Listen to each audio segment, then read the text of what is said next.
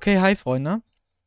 Ich bin euch einen kleinen Nachtrag schuldig. Und zwar, ich habe vor fünf Tagen, am Zeitpunkt der Aufnahme, ist das jetzt fünf Tage her, ein Tutorial hochgeladen, wie man die äh, Pizza Tower Translation äh, für die deutsche Sprache von mir installiert.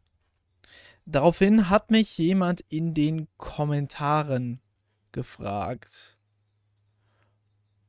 ob das auch für äh, Pizza Oven funktioniert. Das sind meine Recoms. Hier, das ist der Kommentar.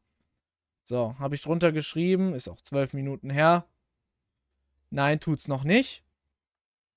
Warum erkläre ich in, bei dem und dem Timestamp? Äh, ja.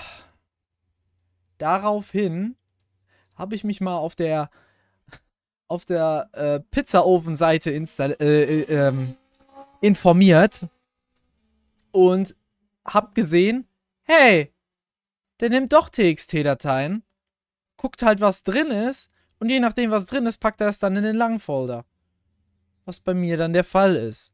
Heißt, wenn ihr hier jetzt die Pizza Tower Translation in Pizza Oven reinpackt und ähm, Setup drückt und dann Launch, dann seht ihr, dass hier die Deutsch-TXT hinzugefügt wird. Das heißt, es funktioniert sehr wohl mit äh, Pizzaofen.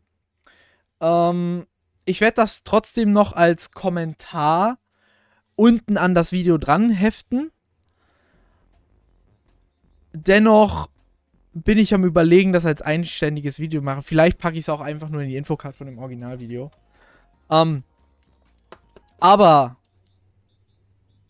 auf jeden Fall funktioniert es mit Pizzaofen. Das war's zum Nachtrag. Ich bedanke mich fürs Zuschauen. Bis zum nächsten Mal und tschüss Leute.